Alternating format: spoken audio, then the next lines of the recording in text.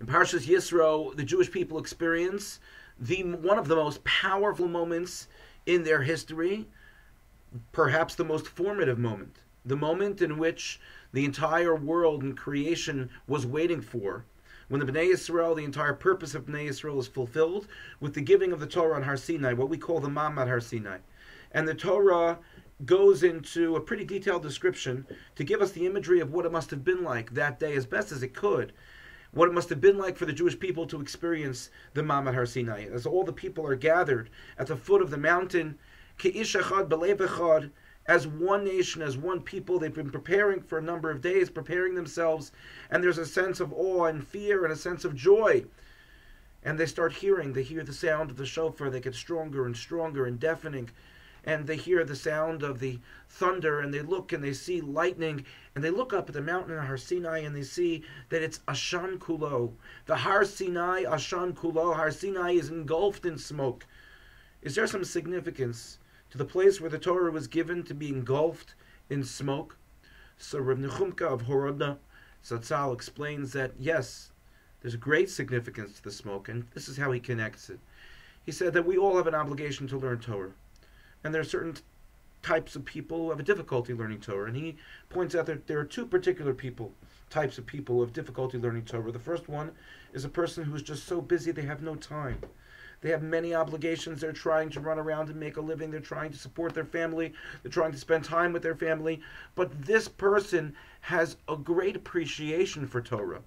And any couple of minutes, any time that they get the opportunity to learn Torah, to hear a shiur, to learn a Mishnah, to hear a Dvar Torah, they become excited because they recognize that it has a transformative nature, that they need Torah. It's their fuel in order to be able to appreciate their mission and their goal in life. So, this person, although they don't have as much time on their hands, but they have a great appreciation and love for Torah and wish that they could be able to learn more and more.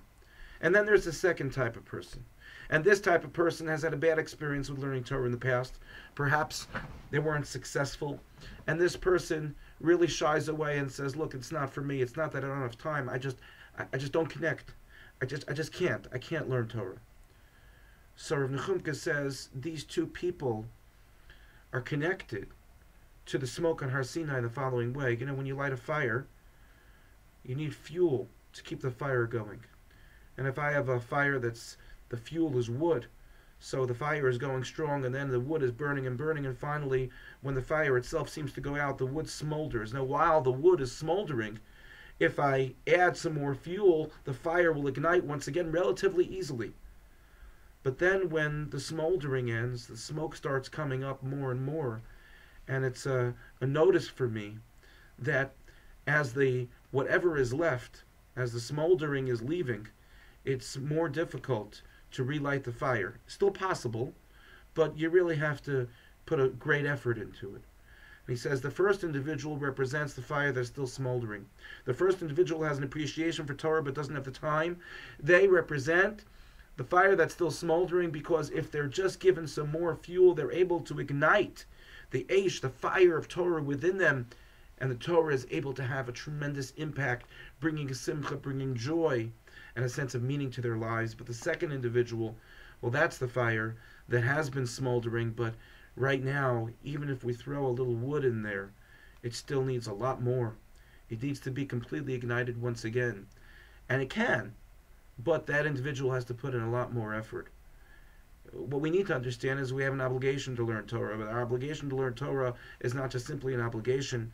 Torah has a transformative nature if we've never experienced what it means to learn Torah and enjoy Torah, then we've never really fully lived life as Jews. And it's never too late to light our fire. And for those of us who have a difficulty spending time, finding the time to learn Torah, we can't underestimate the power of the Torah that we will learn, transforming our sense of meaning in life and the possibilities of where it can take us spiritually we're in a generation where people don't have time. Yet, our generation is blessed with the opportunities to learn Torah like no generation before us has ever had before. Whether learning Torah by listening to an app or by learning Torah by watching on, on, on the computer or listening to a shiur or hearing a Devar Torah, or learning a Daf Yomi. We have so many possibilities, and we're making too many excuses because there is a fire within us that, if it's not lit as a fire, is smoldering. We still might see smoke, but it needs to be relit, reignited to make us true people, to make us true to ourselves, true to our legacy, true to what Hashem wants from us, to take His Torah, to cherish it, to learn it and understand that it's the key for our success, our happiness, and our legacy in life. So may we be zoche to really understand what the smoke is all about, and that we all have the opportunity to take that smoke and ignite it and light it into a fire that will bring a tremendous nachas to us, ourselves, and to all that we encounter. Thank you for listening, and have a good Shabbos.